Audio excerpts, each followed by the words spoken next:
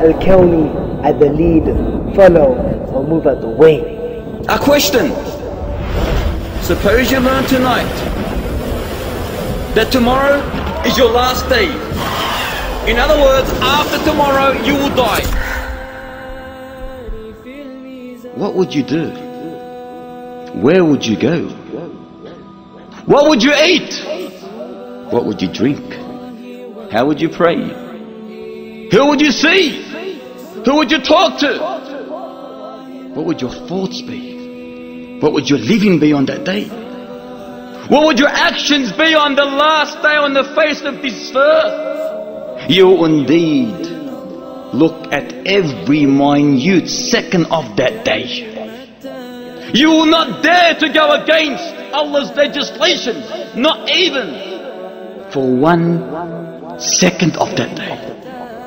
6,200 people die in the world every single hour. This is happening around us. We hear of it. We see it. We wash it. We shroud it. We perfume it. We carry it. Yet it is amazing that we believe it's not going to happen to us. Every single one of us has carried in a ticket at the moment.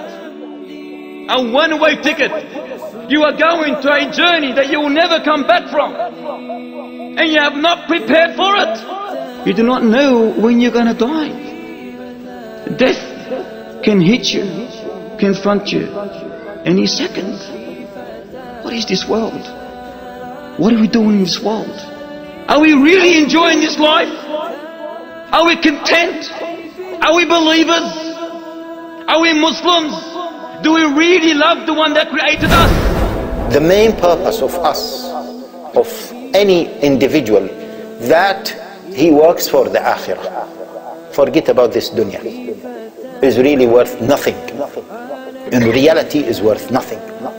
This dunya is going to finish like this in this life we are just struggling and we are trying to win the battle between ourselves and the shaitan in order to get into the Jannah.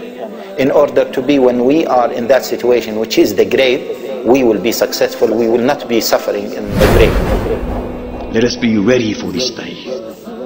For tomorrow we are going to enter that little black hole tomorrow.